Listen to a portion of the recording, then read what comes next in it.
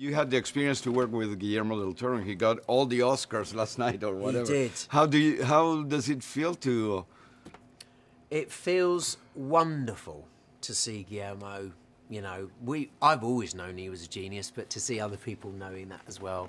I love The Shape of Water, and since I first saw it, I feel that you know he's talked about it being a very personal project. So I'm so so happy for him and the whole of the creative team. Uh, what brought you back to Pacific Rim? I mean, the first one was awesome. Sure. All these effects. You play Dr. Got Gottlieb. Yeah. Tell us a, bit, a little about the evolution of the character and.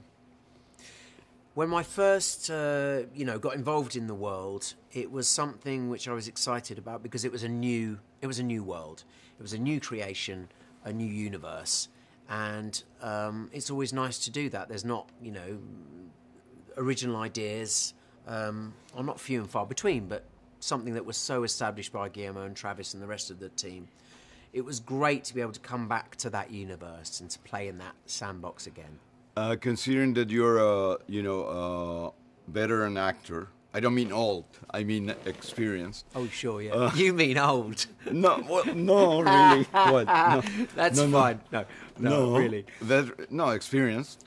Uh, so, uh, dealing with all this technology gets in the narrative of who you're playing or not?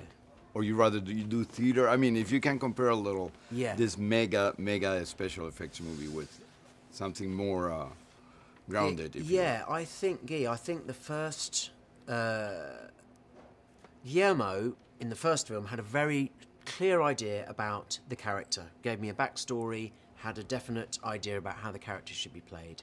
And Steven continued with, with that in um, having a very sort of collaborative process on set. He's very um, disciplined and calm, and it was a real, real joy to work on the set, which felt like we were all in this together.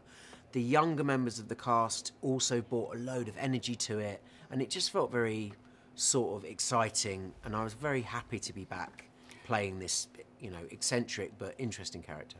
Eccentric, uh, are you a little like the uh, Dr. Gottlieb or not? I, I couldn't possibly say. You'd have to ask my family, but um, no. I mean, he's he's got bodily odor problems, and he he, he doesn't uh, have much else outside work.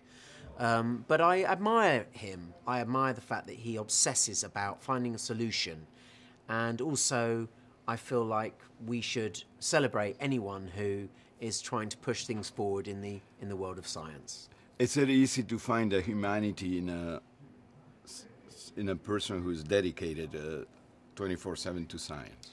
I wish I was as dedicated as Gottlieb. I feel like um, I've got great admiration for people like that. And it's very interesting as an actor to play somebody who's completely obsessed. Last question. I love the Yes. T-shirt. What's going on? Can I have it I, I'm sorry, Guy. after the junket?